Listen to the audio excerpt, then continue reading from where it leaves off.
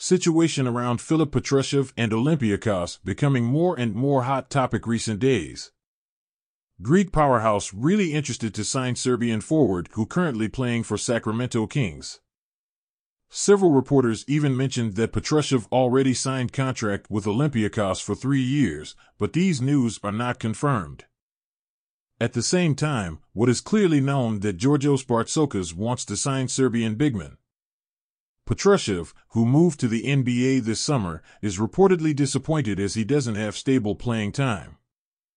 Despite starting the season with the Sixers, he was traded two times later, first from Philadelphia to Clippers and after to Sacramento.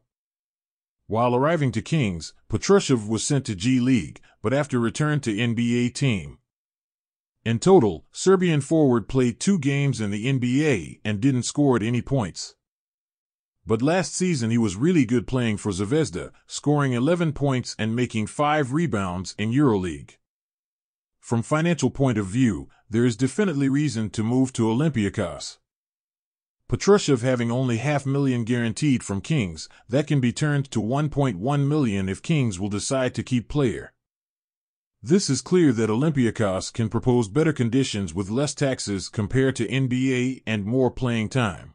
Also in your client, because you want your client to be confident. But Petrusev has had a very good start to Summer League, and once again, get attacking the paint. Intentional foul to get right out of the game, but it cost them the technical.